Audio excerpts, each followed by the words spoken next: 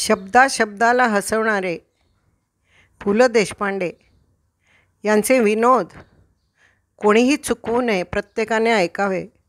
अगदी जीवात कान आणून ऐकावेत. असं आहे यांचा ह्युमर. हो. एकही मिनिट तुमचं आजूबाजूला नाही गेलं पाहिजे.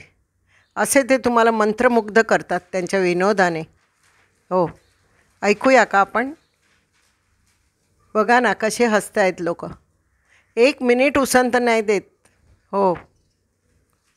कुठून ते सुस्त काय काही माहिती नाही. हा हा हा.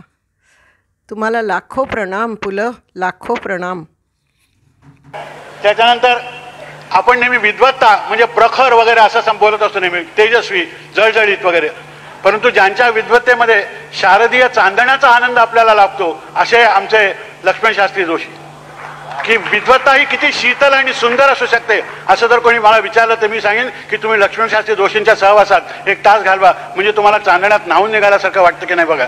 नाही वाटलं तर तुम्ही जन्मजन्माचे गलिच्छ आहात असं समजा. आणि जा. असा शाप सुद्धा काही लोकांना देव देत असतो. त्याला काही सांगता येत नाही. ही सगळी अशी माणसं बसलेली असताना मी आभाराला शब्द कुठून आणू? मला खरोखरच माहिती नाही. एक तर आभार धन्यवाद वगैरे मराठी शब्द नाही. कोणाच्याही घरी तुम्ही गेलात काही जरा पिठलं पिठलं खाल्लं काहीतरी चांगलं जेवलं आज तुमचा आभारी आहे म्हटलं मा कृत्रिम नाटकी मनुष्य असं अहो आम्हाला नाटकाची इतकी भीती आहे नाटक वाटेल्याची की पाय धरून नमस्कार केला तरी बापटला वाटलं हे अभिनय नाही हे लोकांना सांगावं. पण बापटांना मला हे सांगावं असं वाटतं की आज जगामध्ये ज्यांचे पाय धरावे असे पाय मिळत नाही ते लाभले तर ते धरले तर काय चुकलं?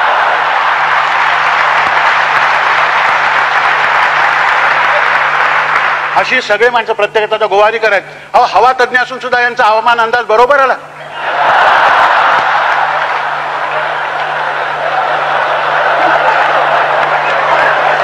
थक्क झालो. म्हणजे पाऊस हल्ली कोणाचा ऐकत नाही यांचा ऐकतो की काय असं मला वाटायला लागलेलं आहे. कारण आमच्या पुण्याचा हवामान तज्ज्ञ the Poona climate doesn't agree with me म्हणून सोडून गेला होता.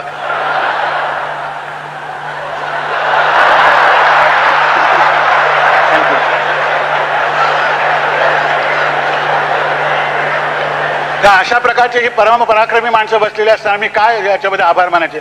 आभार विभार हे काही खरं नाही आहे मला तर एवढंच वाटतं की मराठीमध्ये काय काय भारतीय संस्कृती जिथे आभार विभार मानत असतील ते मानू देत बिचारे. पण मराठी माणसाला ते आभार मानतो धन्यवाद देतो म्हटलं की हे खोटंच बोलतायत असं वाटतं.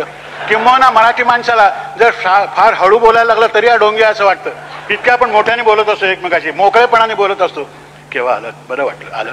असं म्हटलं की महा डोंगी आहे. अशा प्रकारचं आपलं हे आहे. तर आभार विभार कसले मानणार मी?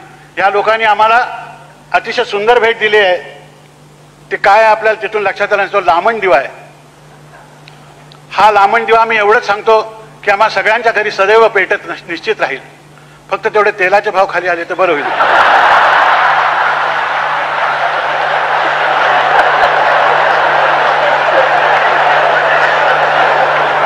एकेकाळी या महाराष्ट्रात त्यांच्या घरी अत्तराचे दिवे जाळत असत असं म्हणतात. अलीकडे गोडे तेलाचे दिवे जाळणारे लोक आहेत. काय?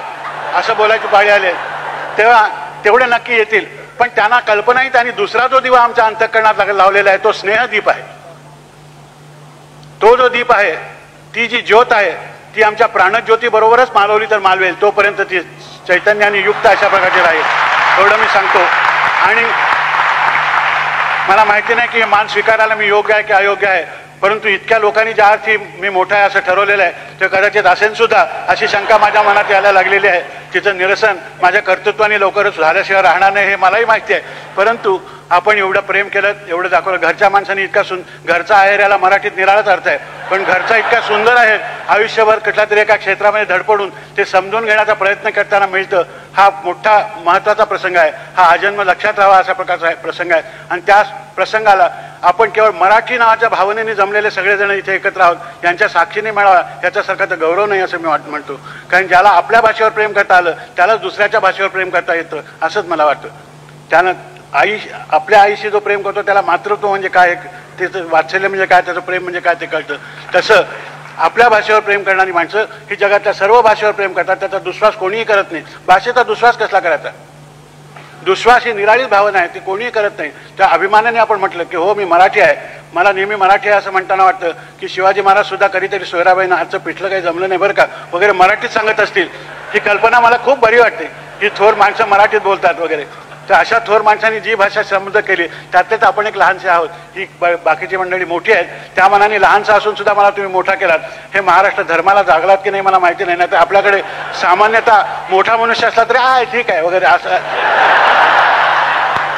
नाही तर चढून जाईल अशा प्रकारची आपल्याला काहीतरी भीती असते. आम्ही आता अशा वयात आलेलो आहोत की आता चढून जायचं असलं तर कोणातरी खांद्यावरच चढून जाणार. त्यामुळे ही भीती बाळगायचं काहीही कारण नाही आपल्याला.